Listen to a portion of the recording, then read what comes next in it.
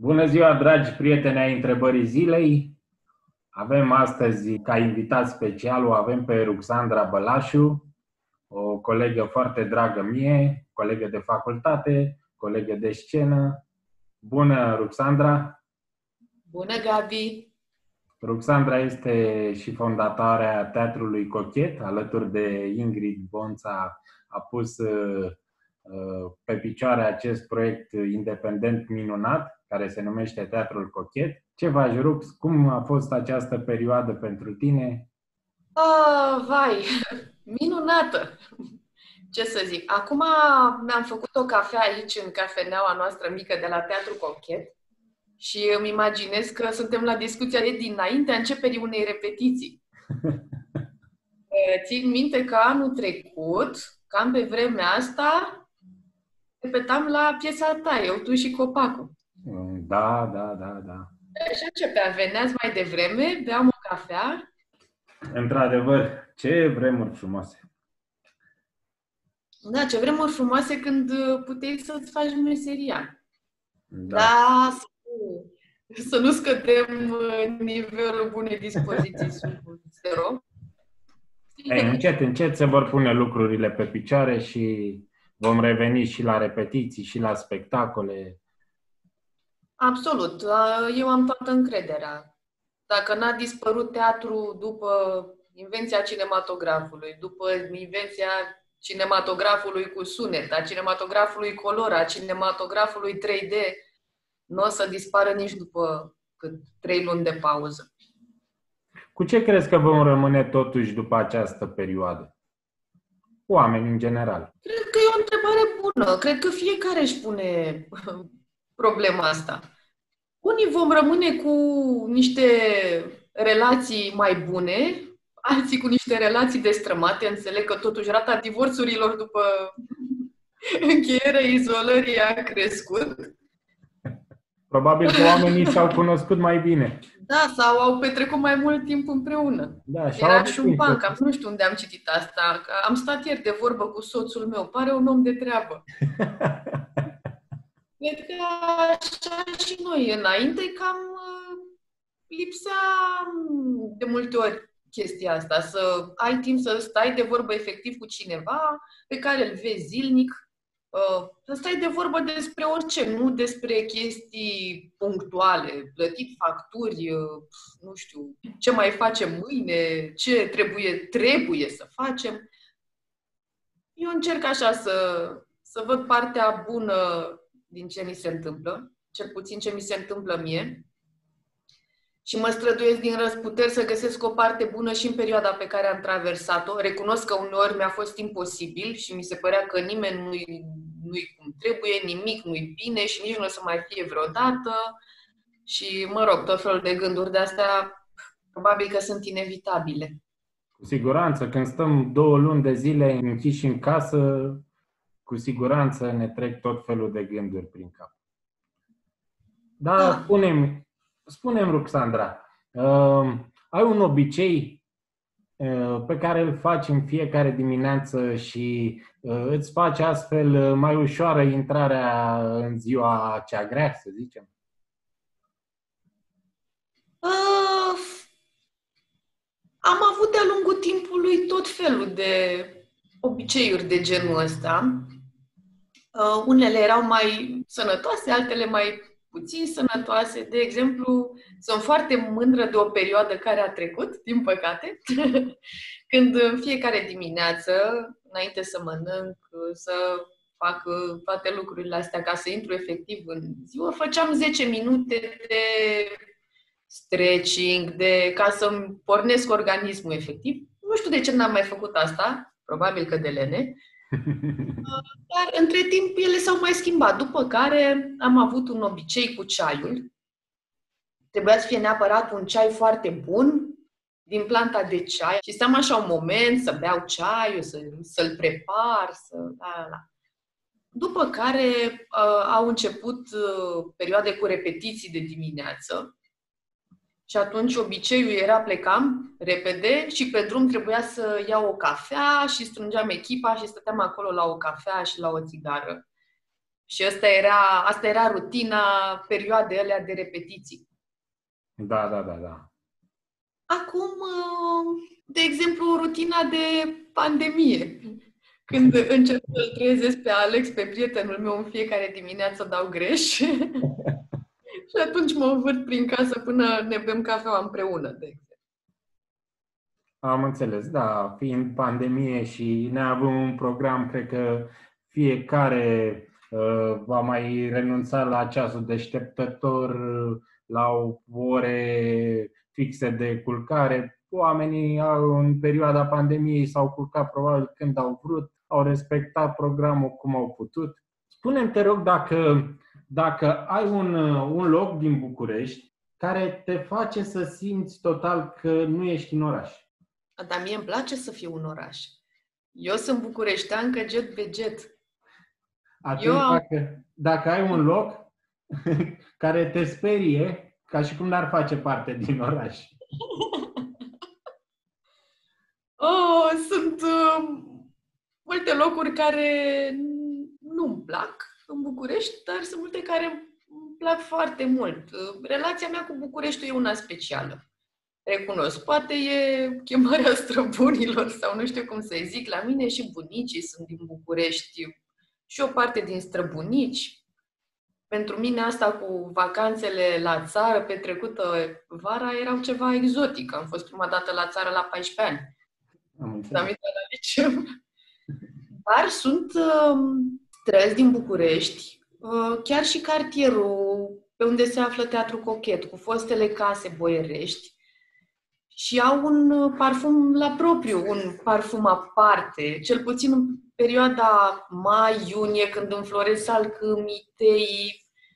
Pentru mine la e mirosul de București. Știu că mulți ar zice, vai, dar Bucureștiul pute, vai, dar nu știu ce. Da, bine, dar e, ăla e mirosul nostalgiei pentru mine. Sunt uh, străzile de pe lângă conservatorul de muzică, casele vechi, uh, copacii care fac o umbră anume. Mi se pare că Bucureștiul are o lumină anume seara, mai-iunie.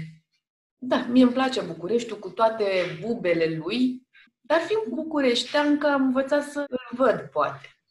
Știu, și eu sunt uh, bucureștean, dar uneori îmi vine să-mi fac bagajul și să plec uh, A, și mie. acolo și să revin cu forțe proaspete și din nou să duc acea luptă de bucureștean cu traficul, oamenii.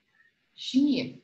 Chiar m-am bucurat locuind, mă rog, după cum știi, la trei minute de centrul Bucureștiului, ceea ce ar putea să zică, să pară așa, a, wow, bine că e ea mare și tare, nu, este groaznic. Uh, în pandemie m-am bucurat. Nu mai era trafic, singurul care mă deranja era tramvaiul infernal, dar și ăla mult mai rar și era gol și, într-adevăr, am putut să mă bucur de 3 metri de curte, de a deschide un geam. E, între timp, lucrurile s-au schimbat și pot să mă bucur de asta puțin în weekend. De rest, e un haos de nedescris. Ai cumva o listă să zicem, de 5, 3, 7 destinații unde ți-ai propus să ajungi măcar o dată în viață? Fie că sunt din România sau de oriunde din lumea asta mare. Da. da. De fiecare dată când merg într-un loc, îmi imaginez, pun așa o întrebare. Ă, bine, imaginația mea o ia razna foarte repede. Și mă întreb dacă mi-ar plăcea să trăiesc în locul ăla. Și la vreo două locuri am răspuns da în mintea mea. Dar nu știu dacă din uh, motive practice. Da, mi-ar plăcea să călătoresc uh, mai mult în afara Europei. Mi-ar plăcea să mai văd lucruri din Europa. Uh, mi-ar plăcea să ajung în... Ah, sună telefonul. Mă duc să-l opresc. Scuză-mă. Ruxandra Dragilor este o actriță foarte talentată și o regizoare la fel de talentată. Joc alături de ea în uh, uh, spectacolul Ursu alături de Marius Bodochi. Profit uh, de acest moment ca să, să nu stau degeaba. Le spuneam prietenilor noștri că jucăm în același spectacol în Ursu alături de Marius Bodochi. Și ne-am distrat la spectacolul ăla și ne distrăm de fiecare dată când îl jucăm. Da, da, da, da. Și așteptăm să vină să ne vadă pentru că se vor distra cu siguranță. Sperăm că o să aibă posibilitatea în vară. Da. Adică e o vară, hai să zicem, cam într-o lună, să fim mai optimiști. Revenim la destinațiile unde ți-ai dorit să ajungi. Da. Mi-ar plăcea să ajung în uh, America de Sud, în uh, Peru, în Brazilia. Mi-ar plăcea să ajung um, în Caraibe, în insule, în general. Am avut la un moment dat un vis ciudat. Am visat uh, că eram la un templu foarte ciudat, pe care nu-l, nu-l cunoșteam, și după aia, din uh, răsfoire în răsfoire pe internet, am găsit poze cu templu pe care îl visasem și templu e unul celebru, Angkor Wat, se cheamă din Cambodgia. Deci, da, mi-ar plăcea să văd locul ăla. Sunt o mulțime de locuri. Mi-ar plăcea să călătoresc mai mult în România. Da, și România chiar este o țară cu mult potențial turistic. Da, așa e. În perioada aceasta, care pare mai nebună la nivel mondial, poate ne vom uh, îndrepta atenția mai mult către zone turistice minunate din România. Da, ar fi, ar fi un, un moment bun, să zicem. De fapt, multe călătorii pe care le-am făcut, le-am făcut cu teatru. Foarte puține au fost chiar vacanțe. Am făcut și de astea. Că nu săraca de mine am fost numai cu muncă. Îți amintești comedia fie că e film, fie că e teatru, la care ai râs cel mai mult?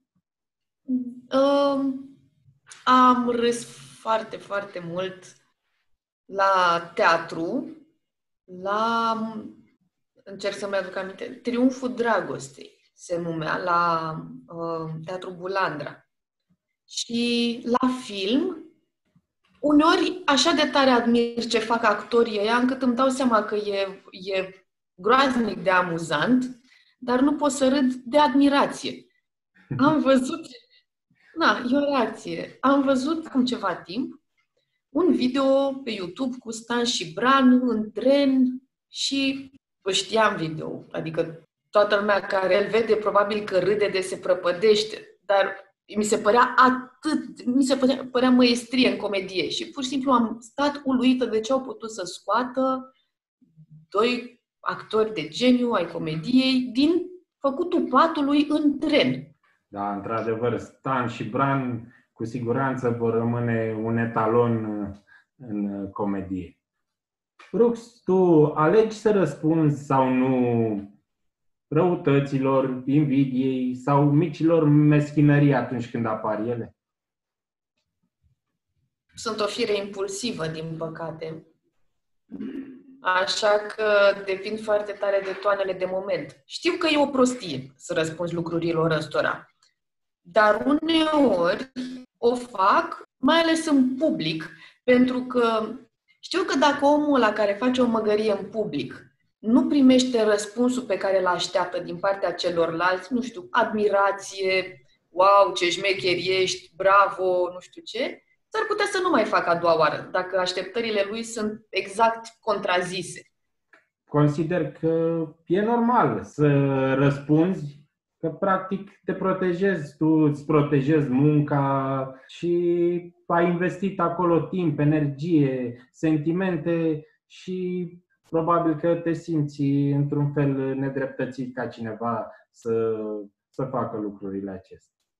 Da, da, da. Nu m-am gândit la partea asta de nedreptate, dar la nedreptate o să reacționez întotdeauna și o să fiu vehementă, vocală și o să fac tot ce pot ca să îndrept lucrul ăsta. Asta e ceva ce nu suport și mi se pare că lumea observă în general nedreptatea, dar foarte mulți aleg să tacă. Și pe mine asta mă... Asta mi se pare și mai nedrept decât nedreptatea în sine. Și atunci eu o să fiu aia care o să zic nu, asta nu e corect. Poate că greșesc uneori. Na, se poate. E cu dar uneori... moment sunt... mai greșim. Da, dar unele lucruri sunt evidente și ar trebui să li se spună pe nume. Așa este. Pe tot uh, parcursul uh, anilor, de când ați pornit uh, această nebunie frumoasă cu teatrul cochet, probabil că au mai fost și momente în care te-ai simțit deznădăjduită sau ai simțit poate că vrei să renunți. Eu știu.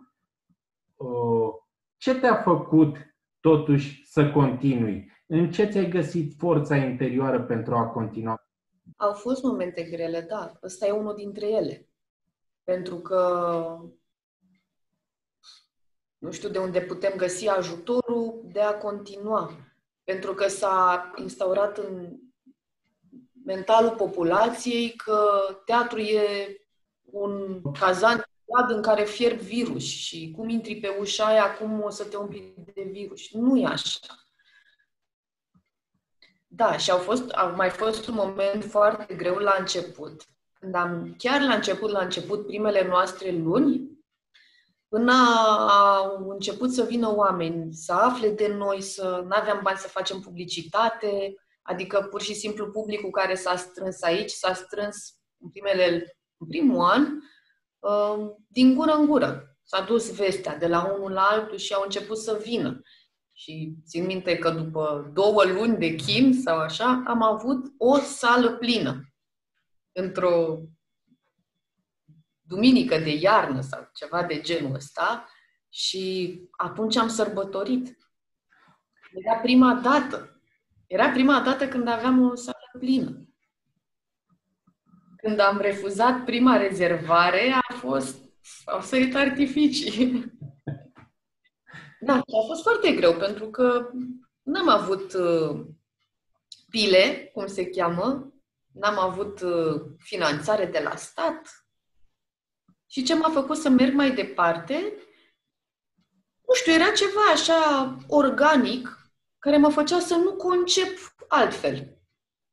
Nu știu cum să zic. E, era ceva irațional, pentru că dacă aș fi stat să pun pe hârtie de la bun început, aș fi zis, i-aș fi zis lui Ingrid, partenera mea, bă, ce facem noi aici?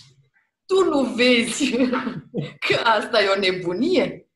Tu nu vezi că toate statisticile, toate probabilitățile arată că o să va trebui să vindem pâine la Mega Image sau să ne angajăm la Glovo sau ceva? E, da, uite că nici măcar nu exista Glovo pe vreme. Uh, toate probabilitățile totuși au fost contrazise am reușit să mergem pe șansele alea mici de nișă. Și nu a trebuit nici să vindem prăjituri la mega imagi, nici să facem livrări de pizza sau alte lucruri. A fost un pariu câștigător și foarte bine ați făcut, pentru că Teatrul Cochet chiar și-a câștigat uh, ușor, ușor, s-a impus în fața altor teatre independente, tocmai prin spiritul lui și punându-se singur pe picioare, crescând organic, așa cum zici tu.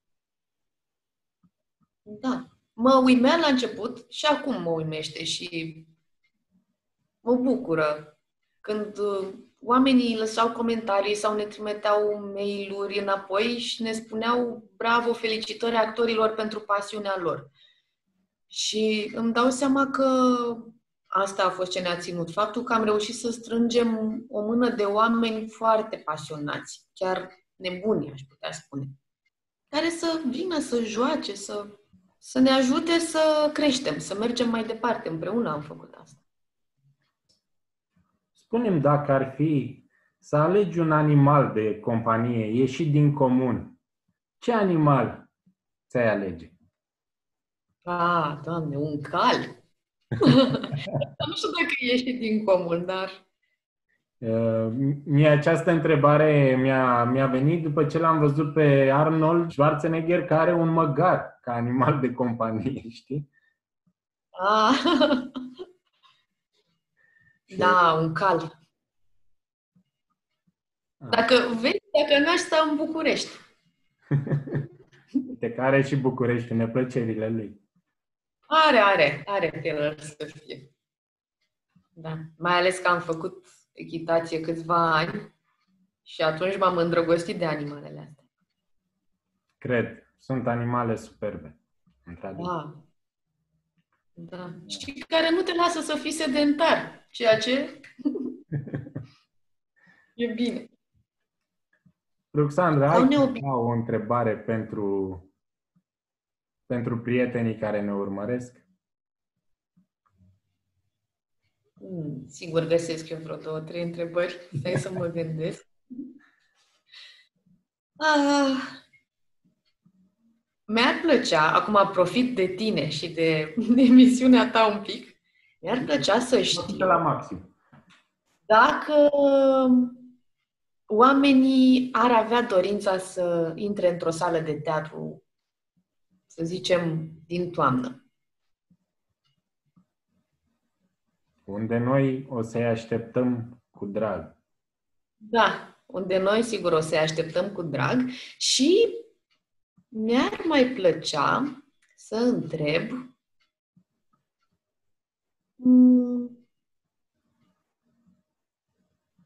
ce le-ar plăcea oamenilor să se întâmple în România anul ăsta?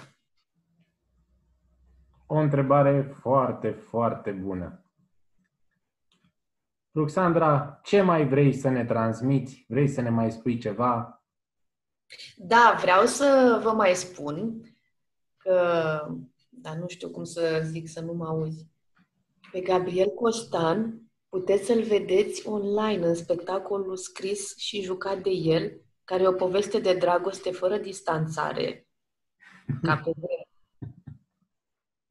Dacă e băiat bun, pune și link în descriere. Bine, mă, mă văd obligat în momentul acesta să procedez uh, uh, așa. Ruxandra, mulțumim tare mult pentru, pentru timpul acordat.